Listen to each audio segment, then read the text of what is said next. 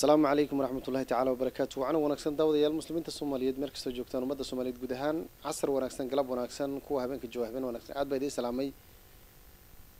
Waad mahadsantihiin meel kastood iga daawanaysaan waxaan idin leeyahay aad iyo aad baan si kaliya laab idiin salaamay.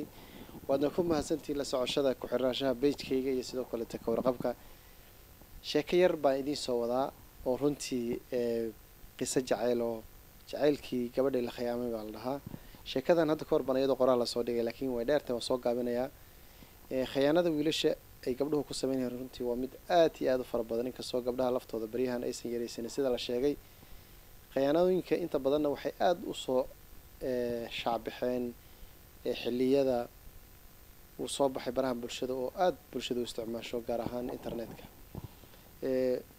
Wiilkaasi waxay ahayd gabadha gabar maskiina iska ahayd oo iskuol dhigato oo madarse dhigato wadaada marka wuxuu ku dhahay facebook baa la iska bartay. Meesha baa telefon lagu kala qaatay whatsapp baa lagu kala xiriiray wiilku laftiisa wuxuu ahaa wiil. Iska xoogsada laakiin aan xoolo badan haysanin. Wiilku wuxuu joogay xerada qaxootiga ifo. Gabadhuna waxay joogtay magaalo kale oo magaalada mandheera bay joogtay. Marka waxaa dhacday wiilkii gabadhi balayu isaga dhigay.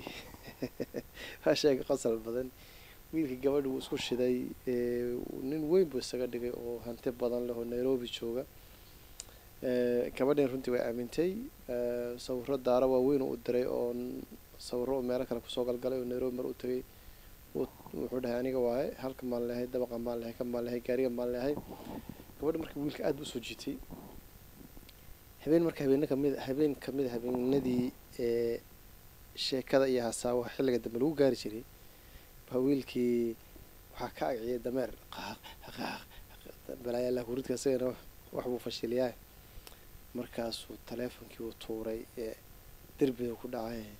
Gabadha way yaabtee dameerkii ka daba orday dameerkii intuu daba ordayay buu ul ku dhuftay dameerkii waa isagana haraati ku dhuftay. Wiilkii laba ilig baa meesha uga soo dhacay.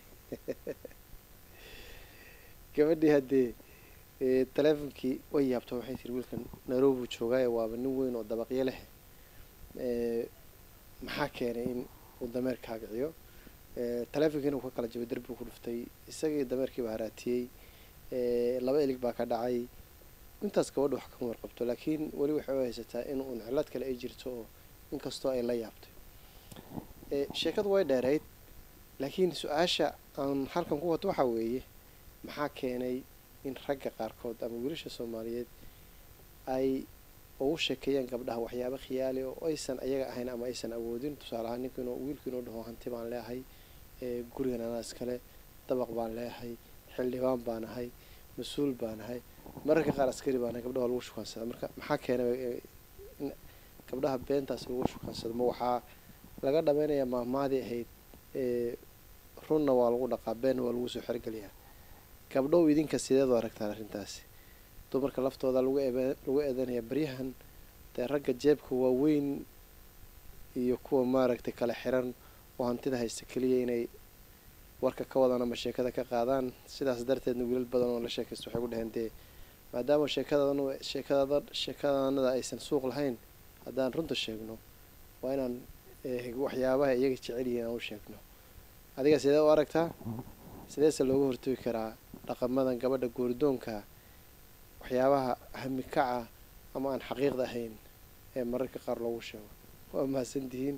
Asalaamu calaykum waraxmat ullahi tacala wabarakaatu